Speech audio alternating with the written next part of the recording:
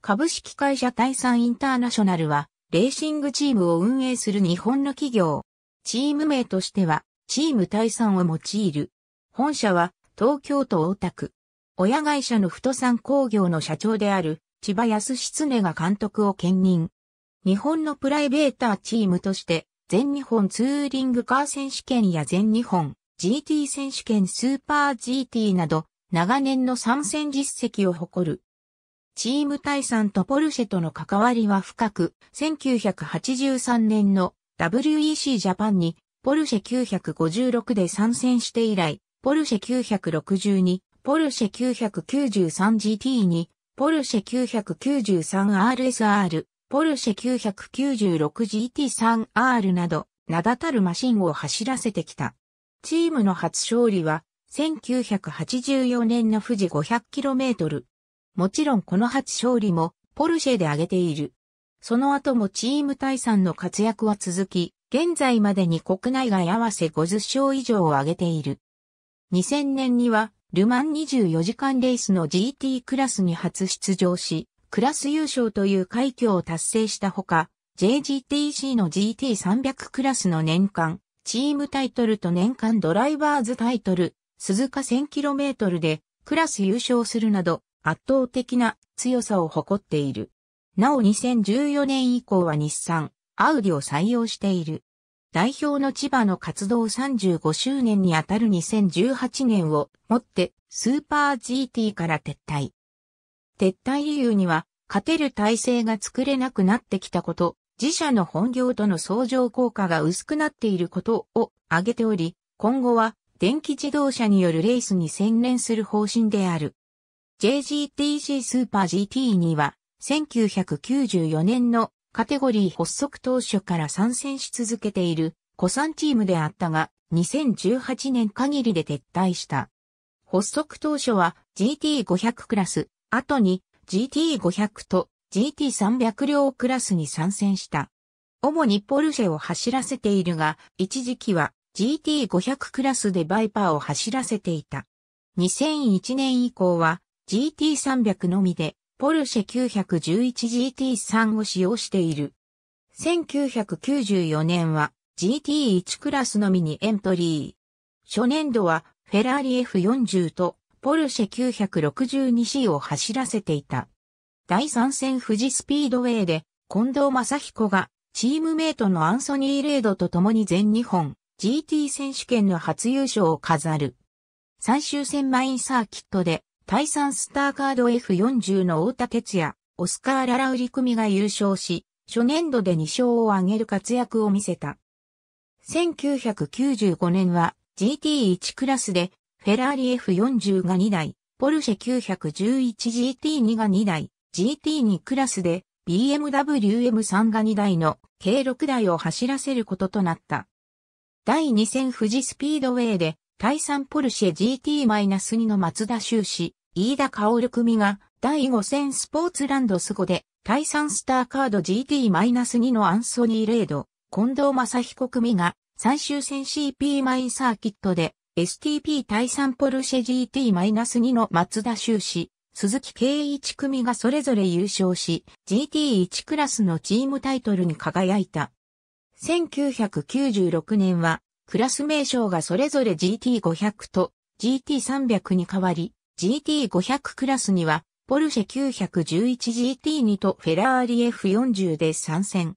GT300 クラスには、ポルシェ 911RSR と、ポルシェ 993RS、BMW M3 が参戦した。GT300 クラスで、鈴木圭一、新田守男組の対3スターカード RSR が3勝を挙げ、圧倒的強さでドライバーズ、チーム両タイトルを手にした。1997年は GT500 クラスにポルシェ 911GT2 とクライスラーバイパー GTSR、GT300 クラスにはポルシェ 911RSR で参戦した。バイパーは参戦初年度のため結果はあまりは振るわなかった。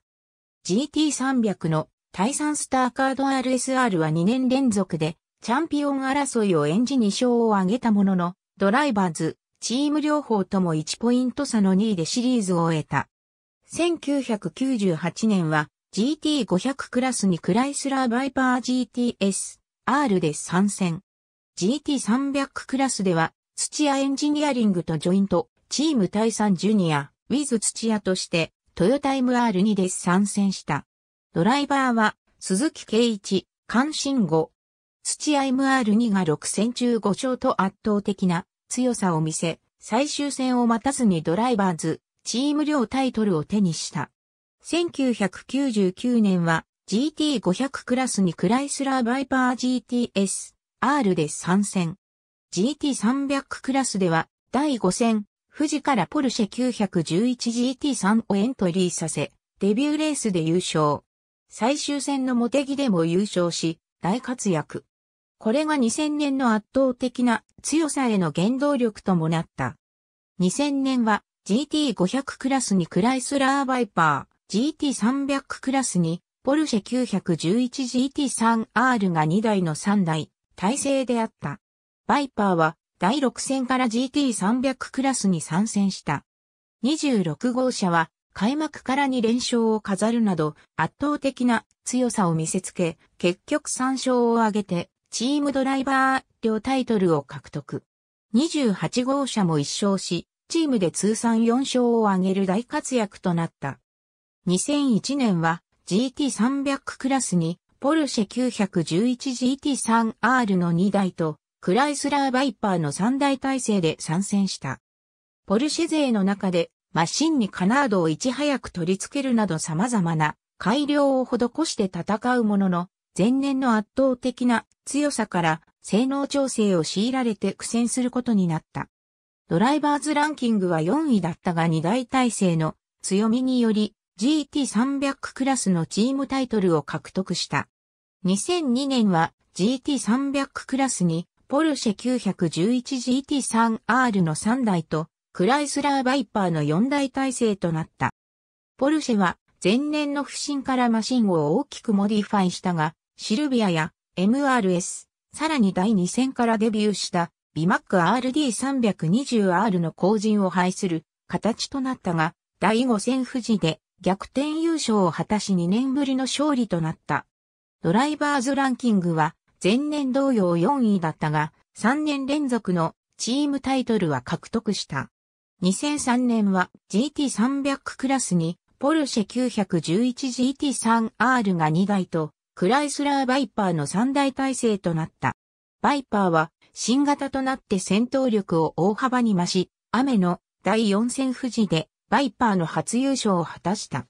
ポルシェの方も序盤で24号車と26号車がそれぞれ優勝し派に乗り、最終戦を26号車がポイントリーダーで迎えるが、追突によりマシンのリアが大破する。しかしその状態でなんとか8位に入り2ポイントを獲得したが、Z に逆転され結局ランキング3位で終えた。しかし4年連続のチームタイトルを獲得する。2004年はバイパーがスポンサー消失のため撤退。GT300 クラスに、ポルシェ 911GT3R1 台体制になってしまった。ライバル勢の速さについていくことができず、昨年までの強さをなくし結局ドライバーズ17位、チーム14位と低迷してしまった。2005年ほとんど進化のなかったポルシェでは、もはや完全に勝負にならず、第3戦をもって一時撤退。その後最終戦に再び参戦するも、やはり結果が残せずノーポイントでシーズンを終えた。2006年開幕戦を欠場し、第2戦岡山と第3戦富士、第9戦富士にスポット参戦という形になったが、マシンのフロントフェンダーを大幅に改造して、フロントタイヤの大型化をし、弱点であったコーナーリングスピードを上げることで一気に戦闘力を上げてきた。さらにポルシェの救済措置でリストリクター系アップにも助けられた格好となり、第3戦と第9戦の富士では得意の直線を活かし一時トップを走る回走を見せた。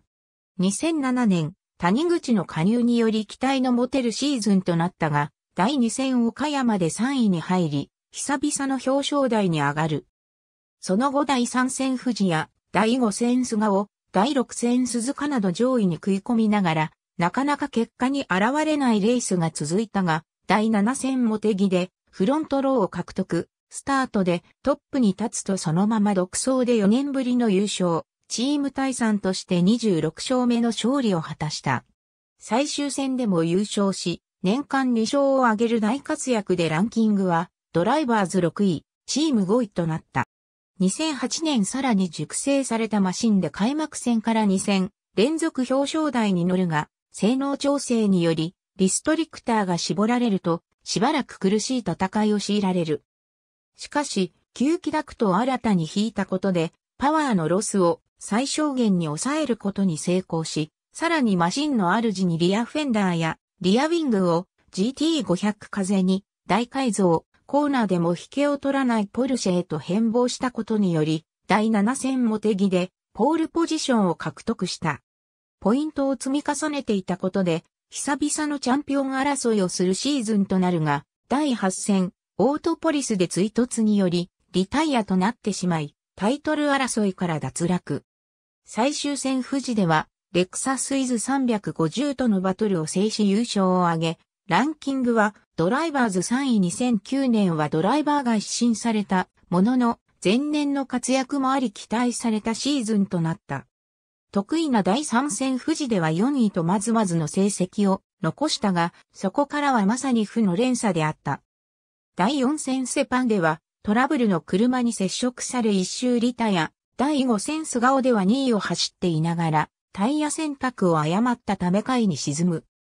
第6戦、鈴鹿 700km ではトップに立った次の週に、パンクという事態に泣かされ、第7戦富士ではペナルティで表彰台を棒に振り、第8戦、オートポリスではピットイン前で2位になるものの、燃費が悪いためピットに時間がかかり、上位進出ならずと、とことん不運に泣かされたシーズンとなった。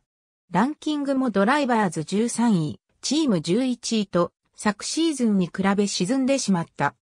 2010年国際流通大手のユナイテッドパーセルサービスがスポンサーとなり、同時に同チームの国際流通もサポートすることとなった。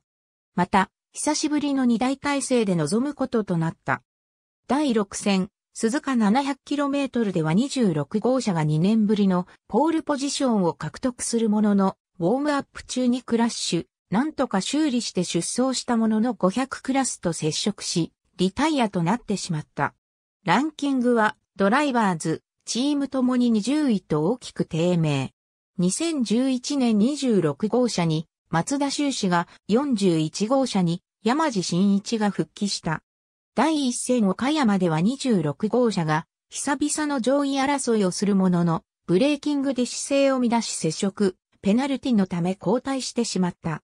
第6戦富士では予選2位から2周目一瞬トップに立ったものの、直後に接触によりパンク、またしても勝負権を失ってしまう不運に見舞われてしまった。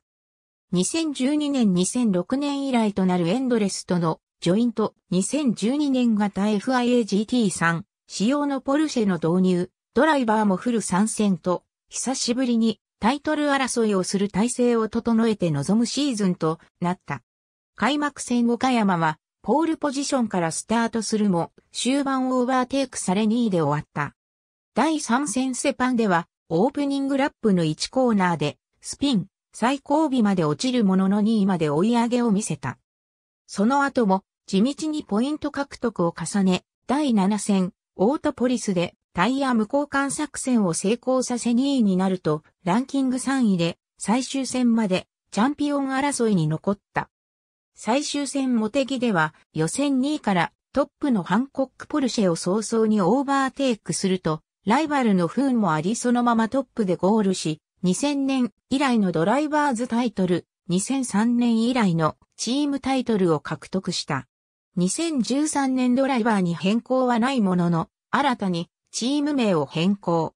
千葉代表と親交が深い、クレイジーケンバンドの横山県の名が加わることになり、チーム対3県エンドレスとなった。ディフェンディングチャンピオンとして2013年モデルのポルシェ911 GT3R を投入し期待されたものの、性能調整として大幅にリストリクターを絞られたためワイド化されたマシンはバランスが悪く、大苦戦を強いられることとなった。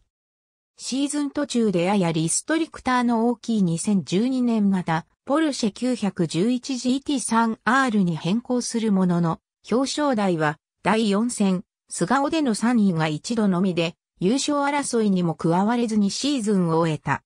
2014年マシンを日産 GT、R ニスも GT3 に変更し、ドライバーも横溝直樹と笹山翔吾のコンビに変更となった。